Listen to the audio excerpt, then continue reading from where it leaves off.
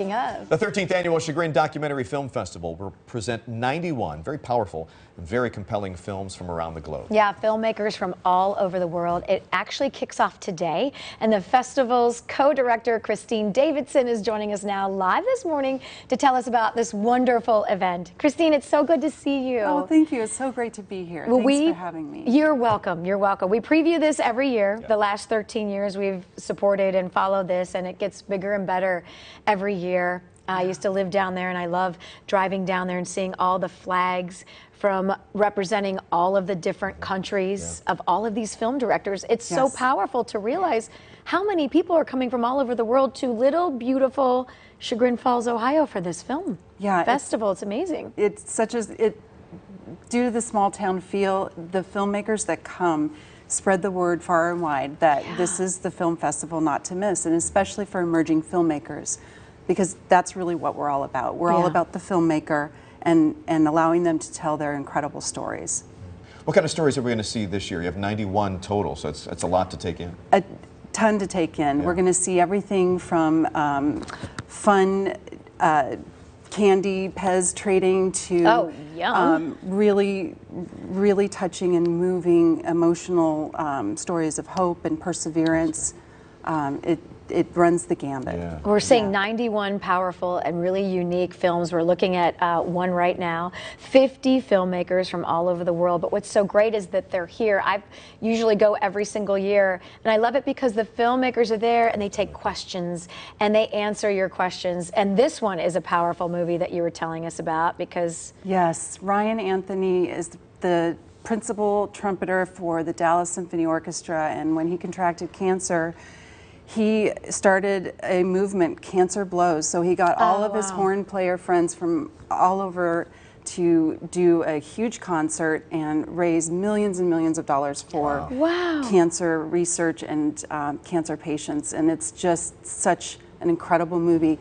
And our festival closing this year features Dominick Farinacci, yeah. um, a Solon born and raised uh, world renowned trumpeter mm -hmm. who will come and play with Steve Eva and the studio orchestra band from oh, wow. Chagrin Falls. So it's going to be amazing. It will. I, I have goosebumps mm -hmm. just mm-hmm. thinking of yeah. what that's going to be like with closing ceremonies there. And yeah. Dominick Farinacci, we love him so much. He's yeah. so great. but what a powerful so movie. Yeah, it really, truly speaks to the human spirit. Mm -hmm. um, and that and that is really what it's all about because um, the festival came about because Mary Ann Ponce's son, David, was mm -hmm. an mm-hmm. emerging filmmaker, um, very talented and uh, came uh, was diagnosed with leukemia and um, lost his battle very early. And uh, the festival grew out of that. And Mary Ann uh, and the hundreds of volunteers that mm. make it happen every single year have have just created an amazing event yeah. for our community. Well, we love her. Please tell her hi. Usually yes. she's here with mm -hmm. us, but she yep.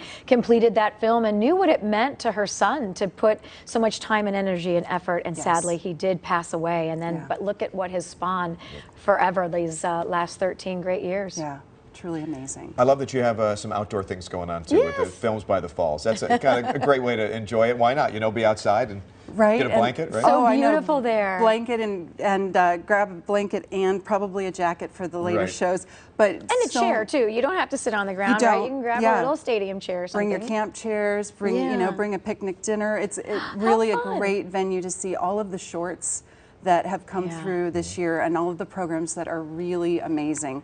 Um, don't miss those because this year we're really focusing a lot on Ohio and local filmmaking um, because we have a partnership with Ohio Humanities. So for the next three years, we're working in tandem with them mm. to um, spread uh, the word about Ohio filmmaking and storytelling. That's awesome. And, and we're really focusing on that Ohio um, mm -hmm. that Ohio mix. So and nine really venues, so inside, outside, inside, and outside. everywhere in between. Nine venues, and then you've got all the great restaurants in Chagrin yes. Falls. So take it all in. You've got a catwalk. Oh boy, cat parade. Bring your cat leashed.